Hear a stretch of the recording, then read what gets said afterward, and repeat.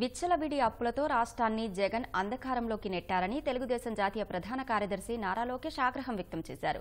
ప్రజల నెత్తిన అప్పుల కుంపటి పెట్టారని ధ్వజమెత్తారు. ఉద్యోగులకు జీతాలు ఎప్పుడు వస్తాయో తెలియని పరిస్థితి నెలకొందన్నారు. తాము అధికారంలోకి రాగానే ఒకటో తేదీన వేతనాలు ఇచ్చి ఏడాదిలోగా బకాయిలు చెల్లిస్తామని హామీ ఇచ్చారు. గుంటూరు జిల్లా తాడేపల్లిలోని పూజిత అపార్ట్మెంట్ వాసులతో లోకేష్ సమావేశమయ్యారు. సమస్యలు పరిష్కరించి నియోజకవర్గాన్ని అభివృద్ధి చేస్తామని భరోసా ఇచ్చారు. సంక్షేమ అభివృద్ధి అనేది రెండు కలిసి వెళ్ళాలి ఆ అప్పులని ఈరోజు మనకు భారం లాగా మారుతాయి. మన ఎత్తి ఆంధ్ర రాష్ట్రంలో ప్రతి వ్యక్తి పైన అది భారం మోపుతున్నాం పోయిన నెలలో మూడు వేల రూపాయలు వచ్చే కరెంటు బిల్లు ఈ నెల దాదాపు ఏడున్నర ఎనిమిది వేల రూపాయలు పెరిగిపోయింది. అంటే స్లాబ్లు ఎంత ఫాస్ట్గా మార్చేస్తున్నారో మనందరం చూస్తున్నాం. దానికి కారణం ఈ ప్రభుత్వం అప్పు చేసి సంక్షేమం చేస్తుంది. నా అంచనా ప్రకారం దాదాపు ఇరవై ఐదు వేల కోట్ల రూపాయలు ప్రభుత్వ ఉద్యోగస్తులకి ప్రభుత్వం బకాయిలు పెట్టింది సార్ సకాలంగా జీతాలు చెల్లించట్లేదు మెడికల్ రీఎంబర్స్మెంట్ జరగట్లేదు సరిగా. చాలా ఇబ్బంది పడుతున్నారు తల్లి దానివల్ల ఇదంతా స్ట్రీమ్ లైన్ చేయాలి తల్లి. నా అంచనా ప్రకారం మినిమం వన్ ఇయర్ పడుతుంది సార్ ఇచ్చి- వెళ్ళాలి సార్ ఒకేసారి ఇరవై ఐదు వేల కోట్ల రూపాయలు మనం ఇవ్వలేం. ఎందుకంటే అడుగు తినేదానికి చెప్పుకునేదానికి కూడా డబ్బులు లేవు తల్లి.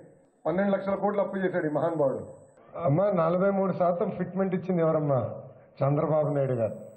ఆనాడు రెండు డిఎస్సీలు ఏర్పాటు చేసి నిరుద్యోగ యువతి యువకులకు అద్భుతమైన అవకాశాలు ఇచ్చింది చంద్రబాబు నాయుడు గారు. తెలుగుదేశం పార్టీ ప్రజలకు ఎప్పుడు గుర్తొస్తుందంటే కష్టకాలాల్లో గుర్తొస్తుంది ఇప్పుడు రెండు వేల పంతొమ్మిది వరకు బాబు గారు అన్ని సెట్ చేశారు. జీతాలు కూడా సకాలంగా చెల్లించారు. TA DA IR medical reimbursement everything was streamline.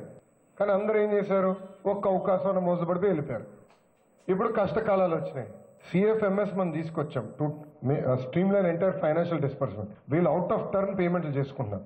వాళ్ళ మనుషులకు అడ్డగోలుగా ఇస్తున్నారు. చేయని పనులు కూడా డబ్బులు ఇచ్చేస్తున్నారు. We're proof of it so ఇవన్నీ స్ట్రీమ్ లైన్ చేయాలి. డెఫినెట్గా ఫస్ట్ నాడు జీతాలు చెల్లించాలి. ఇన్ఫాక్ట్ మన ప్రభుత్వం ఉన్నప్పుడమ్మా ఫస్ట్ సెకండ్ కానీ పండగలు వస్తే థర్టీ ఫస్ట్ థర్టీ వస్తే జీతాలు చెల్లించాం. ప్రతి నెల ఒకటో తారీఖు నాడు జీతాలు చెల్లించే బాధ్యత మేము తీసుకుంటాం. Pending బకాయిలన్నీ I'll take about year definitely అది స్ట్రీమ్లైన్ చేసి చెల్లిస్తాం. బట్ తప్పనిసరిగా గతంలో ఏ విధంగా అయితే ఉద్యోగస్తుల్ని గౌరవించామో ఉద్యోగస్తుల అభివృద్ధిలో భాగస్వామ్యం చేసామో అదే విధంగా మేము చేస్తాం.